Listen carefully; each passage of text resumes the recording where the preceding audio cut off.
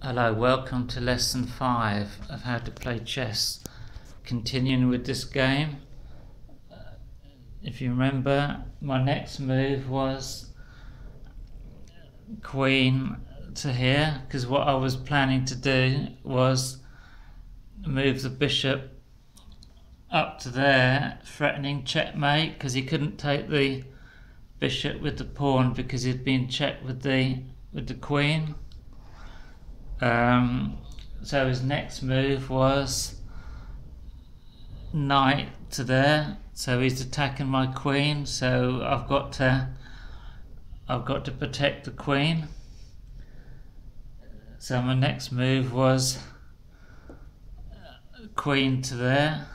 So I'm attacking the I'm attacking the knight and his next move was knight to there, so he's back to attacking the attacking the queen. So I've gone back down to uh, my queen to there, and he's um, uh, he's just carrying the same plan. So um, my next move was queen to there because if I repeated that move then it would be a, a draw by threefold repetition. So I'm attacking the I'm attacking the knight and he's moved queen to to there to he's attacking the the knight. But that was a um,